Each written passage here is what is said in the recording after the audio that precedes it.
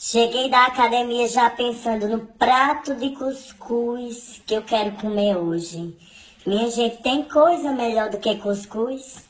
Eu, sinceramente, eu desconfio de pessoas que não gostam de cuscuz. Quem não gosta de cuscuz não me passa confiança. Como é que é possível não gostar de cuscuz?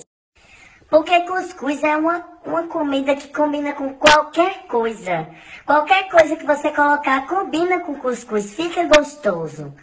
Um cuscuz com charque, um cuscuz com galinha, um cuscuz com queijo, um cuscuz com manteiga, um cuscuz com rabada. Ai, um cuscuz com rabada. Um cuscuz com tripa, um cuscuz com piaba, um cuscuz com leite, um cuscuz com, com salsicha, um cuscuz um cuscuz com linguiça, um cuscuz com carne de sol, um cuscuz, se você botar um cuscuz com cuscuz, ele fica gostoso. Eu acho que na época de Jesus não existia cuscuz, porque se existisse, ele teria escolhido o cuscuz para multiplicar ao invés dos pães. Porque Jesus multiplicou os pães e multiplicou os peixes. Vê se pão combina com peixe, minha gente. Você vê alguém comendo pão com peixe? Agora me diga se não é bom um cuscuzinho com peixe assado, com molho de peixe. É bom demais, minha gente. Cuscuz é vida.